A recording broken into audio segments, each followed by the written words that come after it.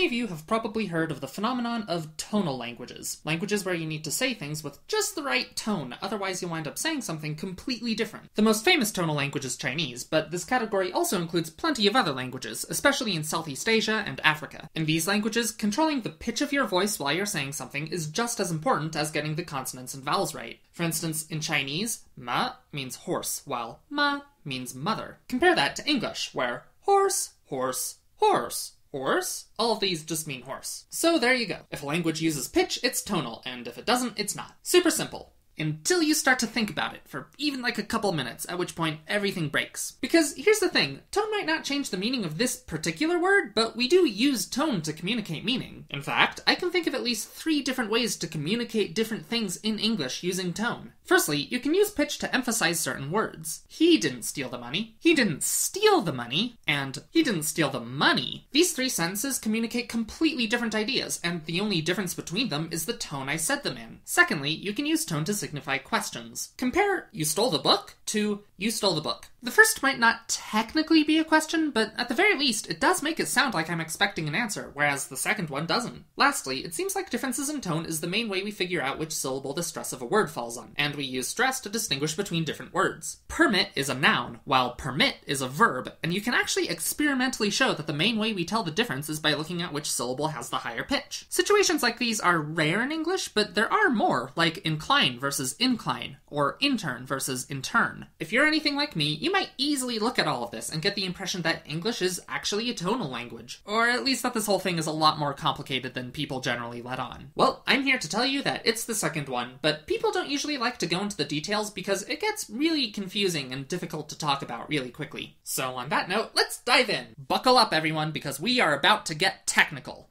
Let's start by defining some terms, because I've been using the word tone kinda sloppily this whole video. On a piano, which key you press determines the pitch of a sound, while how hard you push it controls the volume. Pitch is basically the frequency of the sound wave, while volume is the amplitude. Now, you might notice, you can play a note on a piano and then play the same note at the same volume on a violin, but they'll still sound different. This is because of timbre, which for our purposes is basically the texture of the sound. Pause the screen now if you want to get into the physics of it, but for the rest of you, we can just move on. Now, almost all of the time in language, it's the timbre of the sound that's communicating the information, which is why you can take an audio recording and raise the pitch or lower the pitch or make it louder or quieter, and most of the time it'll mean exactly the same thing as it did before. But as we noted earlier, with these three things, pitch also sometimes communicates information. So if your definition of a tonal language is just a language that incorporates pitch somehow, then yes, English would be a tonal language, along with probably every language ever. But usually when linguists say that a language is tonal, they mean that it uses pitch to communicate lexical information. All that means is that pitch is used to distinguish one word from another. Pink and fluffy might mean something different from pink and fluffy, but those differences are post lexical, above the level of the word. The pitch changes things like which word is more important and whether the phrase as a whole is a question or not. It doesn't change what words there are or what order they're in, which lets us deal with these two, but there's still a case to be made that English is tonal because of accent. What I mean by accent is that within a word, some syllables feel more prominent or important than others. In permit, the accent is on the first syllable, while in permit, it's on the second one. It looks a lot like the main way we tell which syllable has the accent is the fact that the accented syllable has a higher pitch. So English uses pitch to distinguish between words, so that must make it tonal. However, there are two huge differences between what English does and what true tonal languages do. The first is that pitch isn't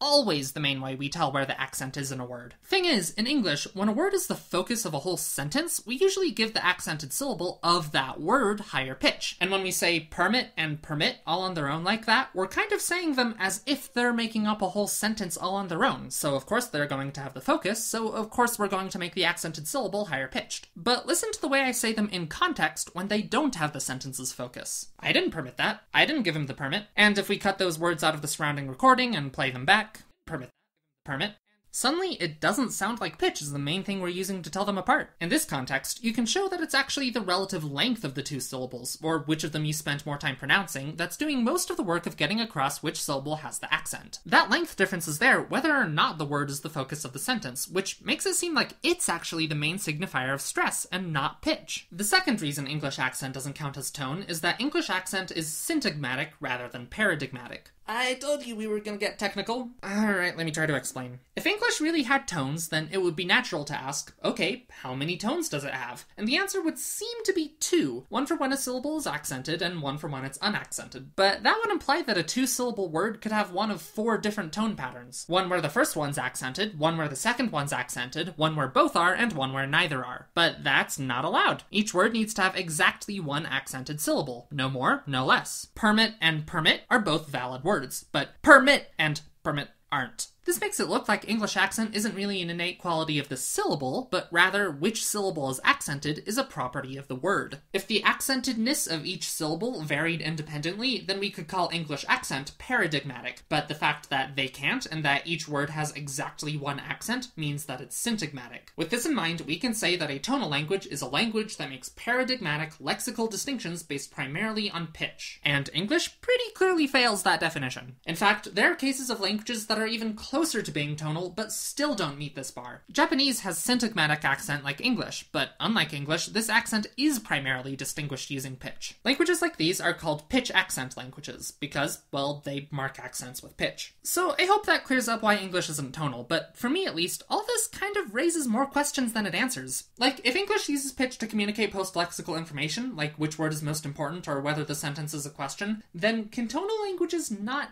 do that? Like, if Chinese is already using pitch so much to distinguish between different words, it sounds like they wouldn't be able to use pitch to emphasize words or mark questions like English speakers do. But that's not actually true. It works differently than in English, but Chinese uses pitch to communicate both lexical and post lexical information. One way that linguists used to think about this was basically in terms of adding functions. You start with a function for the overall pitch of the whole sentence, which communicates post lexical information, and then you get another function that describes the tone of each word, and then you just add the two functions together together to get the way pitch will vary over the course of a sentence. This is called the overlay model because you're sort of overlaying different things that affect pitch, and it's pretty similar to the way a lot of people subjectively experience how pitch works in tonal languages. I think it's also a good way to introduce someone to the idea that in tonal languages, you can use pitch both to distinguish between words and to communicate all this stuff the rest of us use it for. Only problem is, it's kind of wrong. Thing is, if you actually use the overlay model to make predictions about how the pitch of someone's voice will change over the course of a sentence, and then you go out and test it, the results aren't great. It took linguists a long time to figure that out, in large part because it hasn't been very long since the equipment necessary to measure this kind of thing objectively was invented. But once it was invented, it wasn't long before there were a lot of tech companies who wanted to make computers that could communicate with humans with normal spoken language, and these tech companies suddenly got extremely interested in getting this kind of thing right. So all of a sudden, there was both the means and the pressure to do some actual science to this area of linguistics, and the main result of that was the autosegmental metrical theory. Whereas the overlay model makes it sound like the speech centers of our brains are generating two or more functions and then adding them together to produce the pitch we want to make,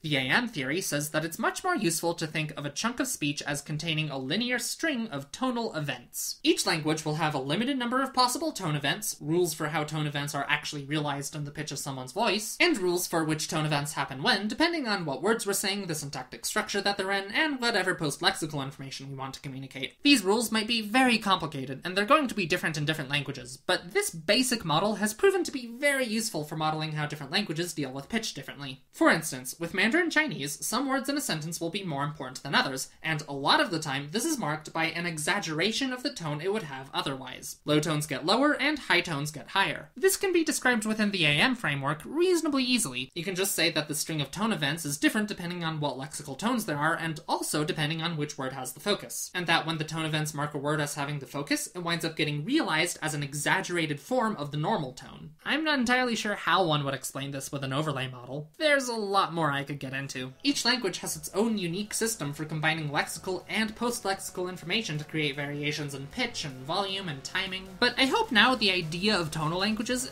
at least makes a bit more sense to you. See you soon for more linguistics videos.